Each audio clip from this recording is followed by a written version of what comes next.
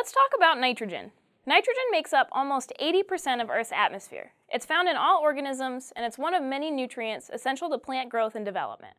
I'm Casey Ginden, a Penn State Field and Forage Crops educator, and I would like to discuss the importance of nitrogen management in agricultural soils. Plants can only absorb nitrogen from the soil in the form of nitrate or ammonium. Soil microbes play a vital role in the amount of nitrogen that becomes available to plants. As they break down organic residues and convert it into their own biomass, they can either immobilize nitrogen, making it unavailable to plants, or mineralize nitrogen so that it is available to plants. Whether or not microbes mineralize or immobilize nitrogen depends on how much nitrogen is present in the residues that they are decomposing. We often refer to the amount of nitrogen in res residues as the carbon to nitrogen ratio, where a high carbon to nitrogen ratio indicates low nitrogen content and a low carbon to nitrogen ratio indicates a high nitrogen content.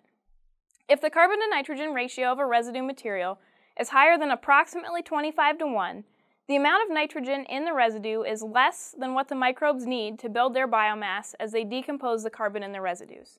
As a result, they pull mineral nitrogen from the surrounding soil, making it unavailable for plant uptake. This process is called the immobilization of nitrogen. On the other hand, if the carbon to nitrogen ratio in the residue is less than 25 to 1, the amount of nitrogen available in that residue is more than what the microbes can incorporate into their own bodies. Through the decomposition of the residue, the excess nitrogen is released as ammonium, one of the forms that is available for plant uptake. This process is called mineralization of nitrogen because ammonium is an inorganic or mineral form of nitrogen. Weather also plays an important role in the breakdown of soil organic matter and residues that can supply nitrogen to growing plants. Microbes operate best at soil temperatures above 50 degrees Fahrenheit, so these processes occur more rapidly as the temperature increases. Additionally, an ideal soil moisture for plant growth also optimizes microbial activity.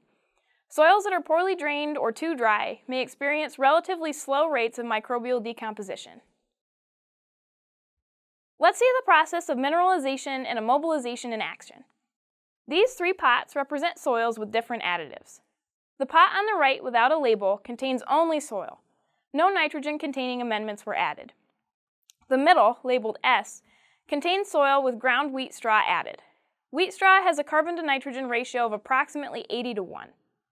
The left pot, labeled L, contains soil with legume hay added. The carbon to nitrogen ratio of legume hay is approximately 17 to 1. Corn was planted in each pot to observe the changes in plant available nitrogen early in the growing season. Early in the season, the differences between the corn in the pot with no additives and those with organic additives are difficult to see.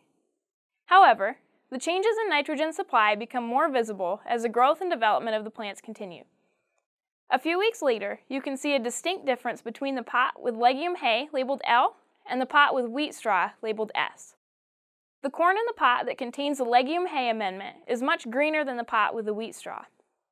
As the growing season progressed, the nitrogen in the legume hay became available through the microbial process of mineralization. The extra nitrogen in the legume was converted to a plant available form and contributed to the growth and development of the corn plants. Conversely, the pot with wheat straw had less nitrogen available. The microbes consume some of the nitrogen in the surrounding soil that would have otherwise been utilized by the growing corn plant. As a result, the corn plants exhibit nitrogen deficiency and their growth and yield potential are limited. There are many management techniques we can use in our soils that can promote the mineralization of nitrogen throughout the growing season of corn and other commodities. First, it's important to consider the carbon to nitrogen ratio of cover crops when they're terminated. Certain cover crops, like cereal rye, have the potential to immobilize nitrogen if they're terminated at a late and highly mature stage.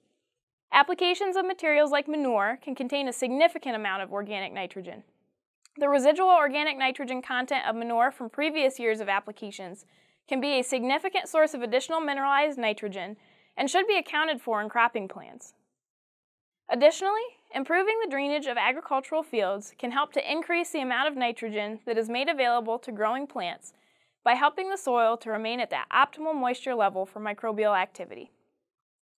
It also reduces the risk of nitrogen loss to denitrification, a microbial process that occurs in oxygen-depleted soils. Nitrogen is one of the most significant nutrients we can add to fields to promote crop growth. By being aware of the cycle that nitrogen must go through to become available to crops, we can be better stewards of those nutrients and get the most out of our fertilizer dollar.